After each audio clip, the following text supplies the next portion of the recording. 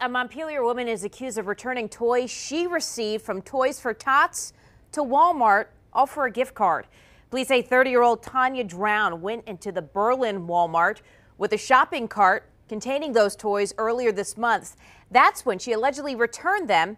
And police say Drown did admit to that crime. She's due in court in February.